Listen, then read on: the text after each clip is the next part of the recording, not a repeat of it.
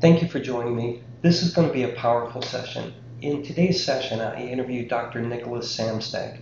Dr. Nick brings over 20 years, over two decades, clinical psychologist and psychoanalyst experience in private practice in New York.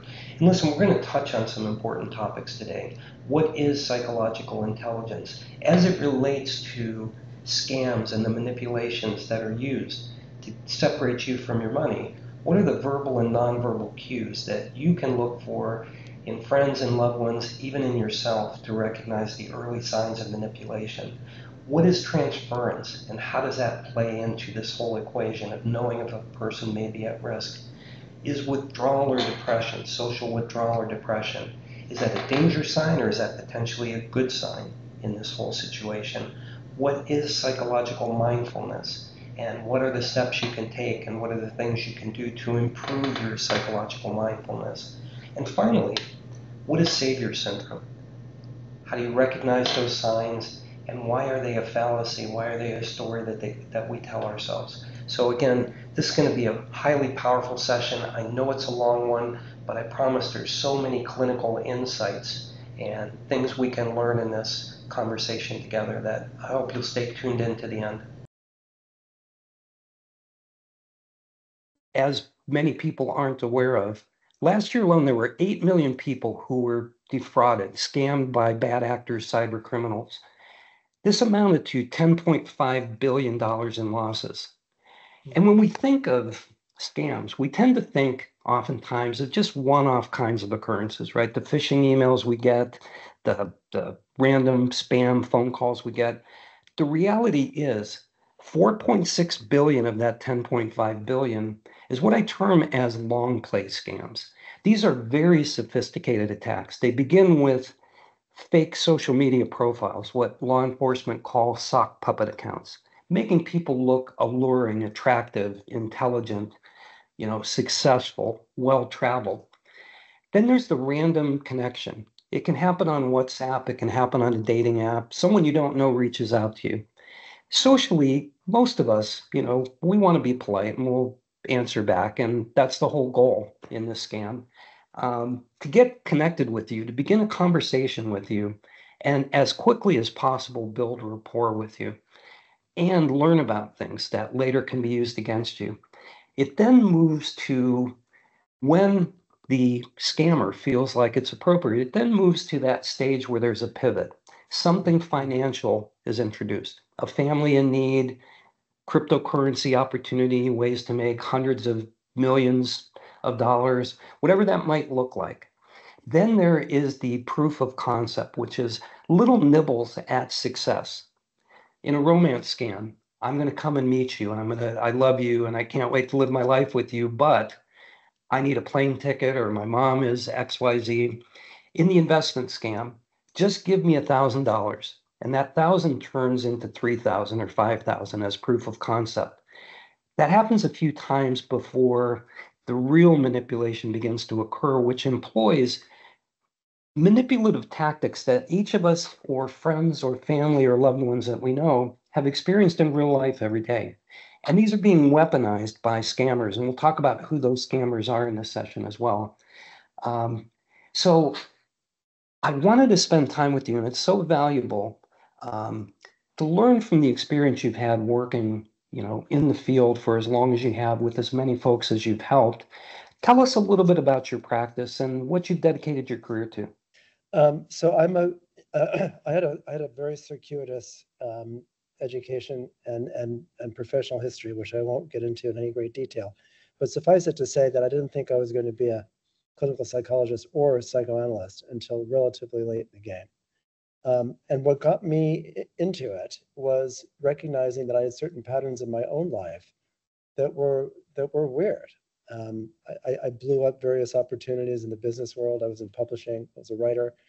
Um, I was having sort of repetitive pattern problems with girlfriends, and I thought something's up here. So I um, I went to psychotherapy, and uh, I was amazed and struck by how out of it I was. That I just hadn't had any idea of what it meant to look at oneself psychologically. Anyway, so I, I thought this is something I, I could do, and certainly more interesting than writing advertising promotional copy, which is what I was doing for a long time, making a lot of money for corporations that I didn't really care much about. Um, and so I, I did that and uh, I got a PhD and I thought, you know, this is nice, but what I really want to do with my life is be a psychoanalyst because I thought that was really the deeper work and the most interesting and nuanced work, um, clinically speaking. So I've been doing that for a bunch of years and I, I taught for 30 years and I did this and I did that. But basically, um, I see people, I see people whose um, whose life have have has have come to a point where it's either unmanageable or they like me um, have perceived certain patterns uh, that they really want to understand um, whether it's the repetitive patterns in relationship or whether it's um, issues with you know substance abuse um, and so what i what i what i tell people what i do is i help them write better stories um, because I, th- I think the stories we tell of ourselves, of, of our past, really, um, in many ways, uh, implicate who, who it is we are and, and how we're going to be in the world. They, they, it's kind of like a script or a blueprint that we use to, to, to, to, uh, to live by. and I think better stories are those stories that are psychologically informed and nuanced and contradictory and not unlike great literature. That's why we call it great literature, is because they're not cartoons. And so I think all of us, I certainly was, um, I certainly was guilty of this. You know, we we tell stories that are really poor stories, and they're more like cartoons. This was bad, that was good. They're they lack nuance, that they lack depth, and uh, and so you know what I find is if it's a good fit between me and the people I work with, they end up telling much better stories and much more useful stories, and are able to sit with contradictions and thoughts and feelings that aren't necessarily nice but are necessary to uh, necessary to encounter if we're going to get the most out of living. So that's what I do. That is, you know, a beautiful life mission. And thank you for sharing that it began with a quest to better yourself, right? And as so many folks do, we seek experts to help guide us through those difficult waters of life. And, you know, what's important to recognize and what I want to start to dive into is I'm sure everyone listening is intelligent in many different ways. However, you may not be intelligent in the ways that make you vulnerable to scams. We have the aggregate of our life experience that we bring to the equation, but these manipulative tactics being used are oftentimes well beyond, you know, our financial experience. They prey on vulnerabilities. But if we start to think about real life experiences, either that we've had or that folks we know or love have had, we know the signs of manipulation. We just don't always recognize them in the moment they're occurring. And there are psychological and physiological impacts to us as these things are happening as well. So let's begin with this question. Um, as you are working with a new client, what are the signs, both verbal and nonverbal, that you might observe that would make you suspect perhaps they're under the influence of someone manipulative in their life or a bad actor playing a role in their life? Um, that's a that's that's a great question, and there are many. There there's not many, maybe not many. There's several ways of answering that. I I I think the first thing that occurs to me is um, if someone comes into my office and they're uh, they're clearly interested in pleasing me before they know me, that's a clue. If they if they're overly nice and solicitous, if they you know, if they compliment me, if they are impressed by my degrees on the wall, if they go out of their way to sort of uh, make me feel important, I wonder about that because they don't know me. mm. Lots of people have degrees on their walls, and you know, um, I don't I don't sit on the throne. Um, so that's that's called transference in the field, and that's that's a sign often. Uh, it's a defense often that people have where they are frightened, and one way of combating their fear is is by overly complimenting or sucking up to um, other people, uh, and so you know that's often correlated with other types of things, but it, it's hard to generalize. But as a specific example, I would say that. I would say people pleasers are, as a group, um, more vulnerable to being manipulated. Because if, if, if, if the people pleaser is coming in contact with someone who's nefarious and, uh, and interested in manipulating them, their work's half done. Because the person's, the, the person's, you know, right, but they're, they're, they're low hanging fruit, I think, for the, for the scammer. Wow. So I think there's probably a spectrum as well. And I think in the beginning, let's just say psychologically underdeveloped tools, let's call it that. Let's say we're not always equipped to deal with manipulative people in our life. And in the beginning, we seek approval. And it sounds like that's exactly what this transference is. I would say across that spectrum, the deeper the manipulation gets, the more withdrawn a person might become. They might experience signs of depression, uh, socially withdrawing from friends and family, um, and those types of things. Would that be correct? Yeah, I think I think you know, as I've said before, I, I think generalization is necessary and dangerous. I mean, I, I, think there are all kinds of ways of responding to all kinds of stimuli. Um, if someone's actually withdrawn and depressed, in a way, that's a good sign because they're they're they're having adverse feelings. Um, I you know in, in in a way I worry about those people less than I do about the ones who are getting manipulated and pushed around, and and aren't experiencing anything particularly untoward. I said that's that's more of a problem. Um, but I think as we were talking, you know, I think the the general statement is, you know, how psychologically aware is this person? And when they come into my office, it doesn't mean that they are. I mean, they they come to my office because they they perceive that something's up that they want to talk about. Um, but psychological mindedness means, you know, among other things, it means having a having a, a fairly realistic notion of how people function and what's what's likely and what's what's unlikely. Um, and that's not taught in schools, and families don't teach kids that. And it, you know, it's you, you can't teach it really. You have to you have to grow into it and think about it. You know, I think as listeners are processing what you just shared, there are a couple really good indicators for, you know, what they can look out for. And certainly in conversations um, with friends, loved ones, or in internal conversations with themselves, there's some meaningful questions to ask themselves in the beginning of this experience. But something you shared before we started the recording, I think is probably the most prescient or along, you know, equal to being the most prescient. And that is if you get an outreach from someone you don't know, assume it's a scammer, prove yourself wrong. Yeah. I think that's right. I mean, I, th- I think the, and this has been said a thousand times now, right? The, the internet isn't one thing. And I think, I think one, one image I use often when people are dealing with internet stuff is, is just to think about, think of it as a country, right? The internet's a country. And as a country, there are all kinds of interesting things and lovely things and um, moving things in that country. And there are also people who want to kill you. And there are people who want to take advantage of you. And there are dark alleys. And they're you know, and and so I would just, yes, I, th- I think that's right. I think I would just assume that anyone who contacts you, the, whom you don't know, who wants any money or to meet you or any of that business, just assume that they're a son of a bitch. because they probably are, you know, and, and, and this is, you know, this is part of my job that I, you know, I, I don't relish but I do spend a lot of time saying to people like there, you know, there are there are evil, really screwed up people in the world who wake up in the morning and want to do you harm. And there always have been. That's another thing in terms of psychological naivete. Like none of this is new. I mean, the internet is new, but scamming is not new. Scamming, rape, horrible things, abduction, um, none of that's new. That's always happened, and it probably always will happen. I mean, I don't like to be the messenger for that kind of thing. But come on, why would that change?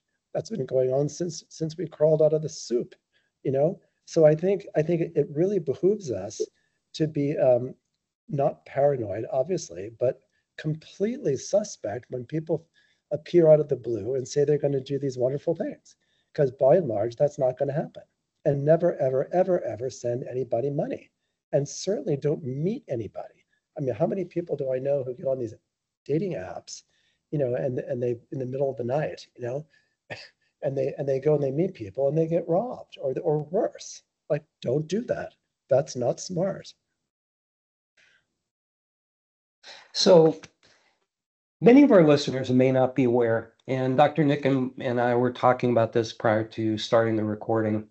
We tend to think of scammers as one off individuals, um, but in fact, in most cases, they're not. According to UN estimates, in the country of Myanmar alone, there are over 120,000 human trafficking victims. They've been lured there by the offers of jobs that don't exist, taken under armed guard, under threat of death. And I'm not making this up. I'll post in the show notes um, some of the evidence that, that all of you can review. They are given a playbook. They are trained. They're assigned a manager. They're given quotas. They're working six, seven days a week, 17 hours a day sometimes. If they don't hit their quotas, they're being beaten, they're being electrocuted, they're being imprisoned. Some of them are even being killed. Their quotas are based on how many people they can scam. It is by way of organized crime, specifically in the Southeast Asian region, um, that these things are occurring.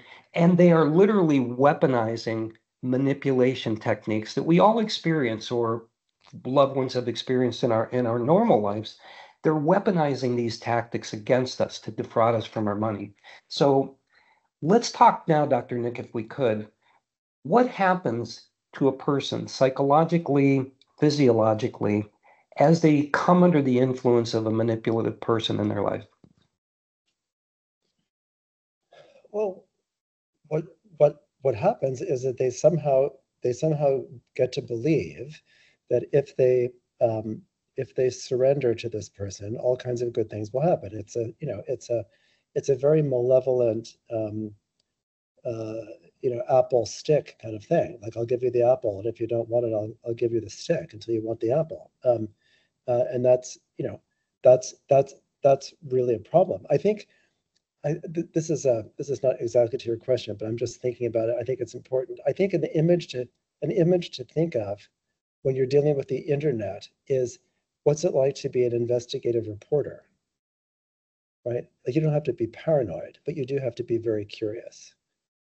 And and so I think um, I said that before, but I think the, I think you know investigative reporters. My my daughter is just working for the Post over the summer, and they don't they don't let her get away with anything. I mean, you have to ask a thousand questions. So if somebody calls you up and says whatever they say, you know, you you have about ten questions you have to ask, and if if, if those answers aren't to your liking, then you say thank you no, and you you, you just hang up the phone or you, you get off the um, get off the screen. So, you know, these are very good um, common sense approaches, but the reality is when we are in the heat of the moment, our prefrontal cortex sometimes shuts down. We experience the allure of an attractive stranger who seems to be showing interest in us, and what gets released, right? That um, you know that love inducing chemical that makes us feel like you know there's an attraction here and it changes the complexity of our thinking. It rewires synapses along the way. Um, conversely the opportunity to meet someone new who's interesting who can show you how to make all the money you want in your life there's other chemicals that get released right? And there's a dopamine reward mechanism that occurs. Talk to us a little bit about physiologically what occurs under these kinds of circumstances. Yeah, I mean, you said it. I, I mean, there are uh, there are there are neuro, neurochemicals that get activated that that give us a sense of euphoria and specialness. We talked about this before before we went on air, right? So so we all want to feel special, and you know, it's great to feel special. Um, and this is one of the major major um,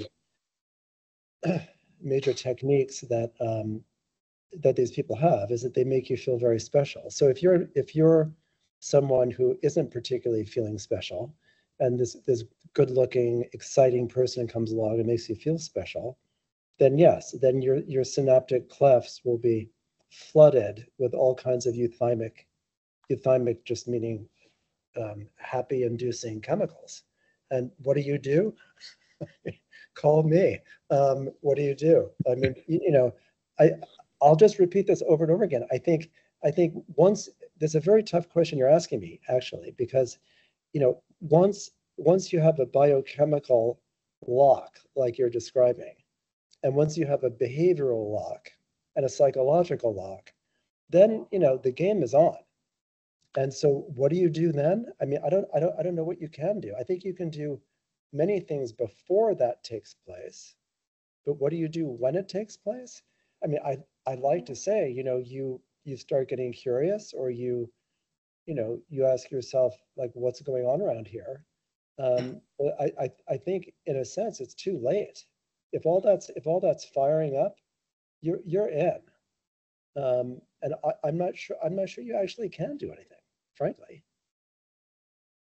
Well, let's probe this a little bit further. Um, because I'm interested to know as you are, and I assume you're a coach, you're a mentor, you're a consultant, you don't always take the side of the expert. In fact, I don't think you do. Instead, you say, I'm a resource to you, right?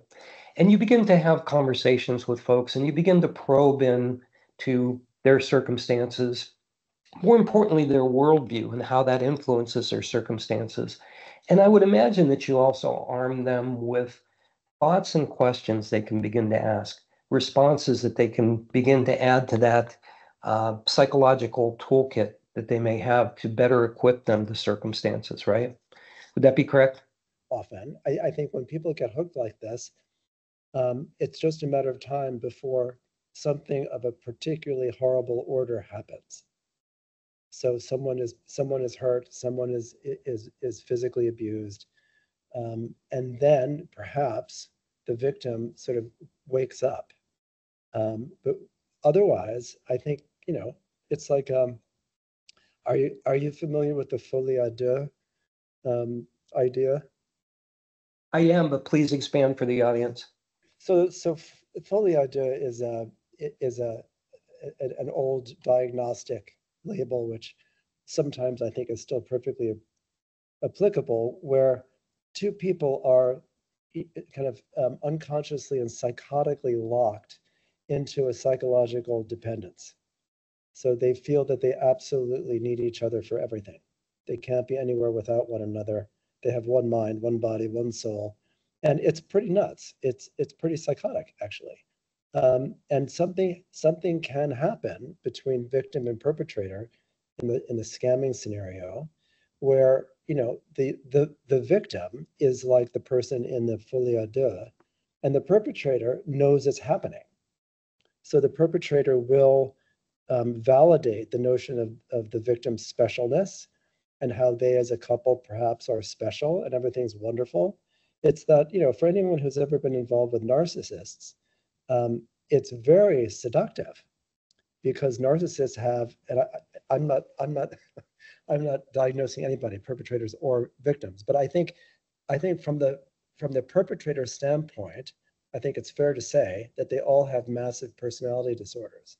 They all have some combination of narcissism, borderline, cluster C. They, they, they're they're not well people psychologically because they get their jollies from hurting other people, right? So we all recognize that as um, as uh, aberrant and and uh, and and pathological. But um, having you know, I I've treated many narcissists. I grew up with a few, and uh, when they when they shine their light on you, it's extremely effective you feel very special and very important and like you can do no wrong. Um, and as long as that light keeps shining, you're you're trapped, I think. I mean, unless, you know, unless one of your friends friends pulls you aside and says, you know, what are you doing here? Yes, and that's going to bring us to probably um, the final question that I have for you that I want to talk through. And I'm going to set this up by saying friends and loved ones can oftentimes see the signs of something occurring that we, under the heat of the moment, under the bright light of a narcissist shining on us and making us feel special, we might not see. Frankly, we may not want to see. We may be just reveling in the experience. A part of us might even know, you know, this is not going to lead where I think it's going to lead, but I don't care. It feels so damn good right now. There's such rewards going on, right? Um, so I want to talk about in just a moment um, how friends and loved ones can maybe help, right? What are the things they can ask? What are the things they can look for? What suggestions would you give to folks you're working with? But I first want to touch on the folie à deux for a moment. Did I pronounce that correctly? Yes, very nice. awesome. Um, There's a story that CNN exposed a gentleman who um, went under a pseudonym of CY. CY was contacted on WhatsApp, random message from a photo that was of a beautiful woman. And he tells his story. He, you know, checked out her profile, you know, really flattered that she would accidentally contact him. They struck up a conversation. As they got to know one another, quote unquote, it seemed to have moved very quickly. Um, but she gained personal information about CY, specifically that his father was in the hospital with a pretty debilitating uh, medical issue, and the medical bills were stacking up. Well, guess what? That was the cue to Jessica, quote unquote, to say, well, you know, I haven't told you, but I am an expert in cryptocurrency and I invest in small businesses. Maybe I can help you. And maybe we can, you know, get give your father the life he deserves. You know, would that be of interest to you? And of course, CY said yes, right? And just as I described, invest a little, get a little, invest a little, get a little. Here's where the folie à deux um, scenario really came to play. I've read the texts back and forth between them where he's like, I can't believe it. I just made $60,000 in 10 minutes. Thank you so much. You've changed my life. My life is in your hands now. I love you. You know, you're you're an angel, right? All of this supported. Let me tell you the end of the story. CY lost 1.8 million dollars in 30 days. Oh my god.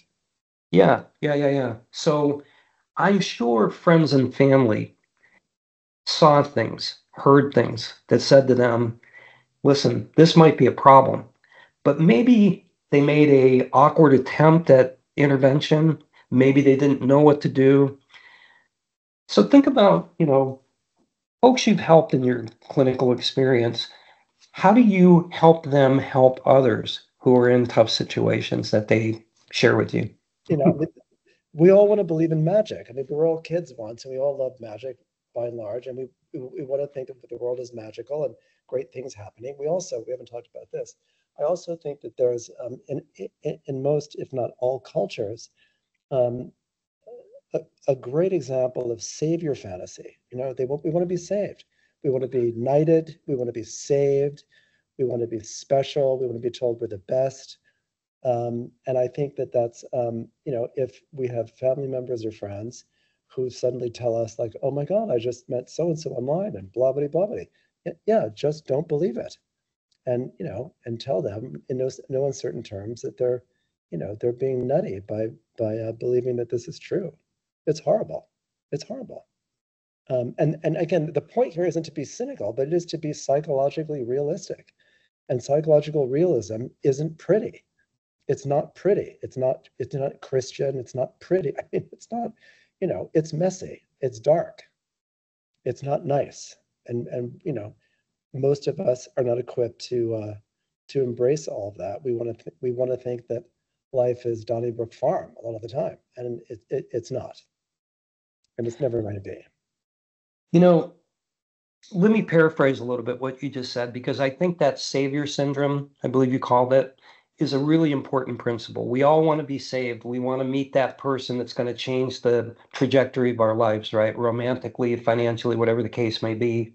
Under the throes of this, someone we care about doesn't want to hear, hey, look, you might be getting scammed. They don't want to hear those things. What they may want to hear, and you tell me if I'm correct in this, what they may want to hear is, listen, I'm excited for you. And I hope this is exactly everything you want in your life. I would encourage you to ask some more questions and really ensure that it's everything that you hope that it is. And that validation is going to really empower you to do more with this person down the road. But let's take a moment and talk about, you know, some questions you can ask, some things you can think about, some things you can investigate to make sure, to be sure that this is exactly the situation as you perceive it today. Would that be okay to talk about together? Um, I'm not sure that that's going to be successful, you know, 80, 90% of the time when people are in the thrall of this kind of thing. But yeah, I mean, that's what you just said is a lovely way of doing that, you know? You know, a less lovely way of doing that would be to say something like, are you a bloody idiot? You know? like, you know, do you think that, you know, Jesus is going to come and bless you? And I mean, you know, I mean, at a certain point, um, I get frustrated with my patients um, and they get frustrated with me, which is fine. Um, but, you know, one, one doesn't even have to be scammed, right? Like how many people get involved in relationships with people online and otherwise where they don't really know much about them. And, and in that in that case, this is off the subject, but in that case, it's not like they're getting bilked or duped, but they just don't know who they're dealing with. And so the person's married or they have a family or they're, you know, they're running guns in Nicaragua. I don't know, but they don't know. They don't know anything about this. so I so I think what can they do? They can be they can be kind of bloody minded. And remember, um, sorry, remember um Columbo? Do you remember the TV show Columbo? You know, it's kind of funny. he was he was a great interpersonal psychoanalyst because what he would do is he would ask all the questions nobody else nobody else asked, right?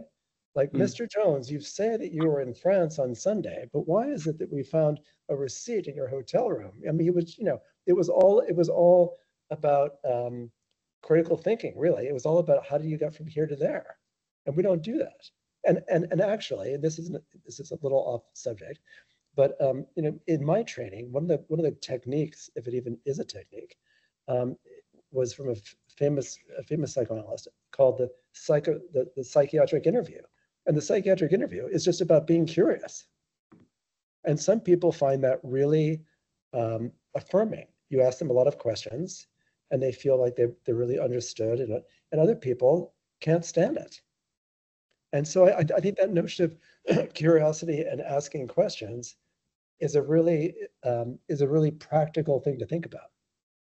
Because if you're asking people questions, and I don't mean arbitrary, stupid questions, I mean thoughtful questions. If you're asking them thoughtful questions and they have adverse responses, then something's going on. You know, why are they so protective? Where'd you go to school? Where, you know, where'd you live? Did you have siblings? If those, you know, if, anyway, point made. Curiosity will save you. That's what I'm trying to say. Couldn't have said it better. You know, and this has been a, a very uh, enlightening and empowering conversation.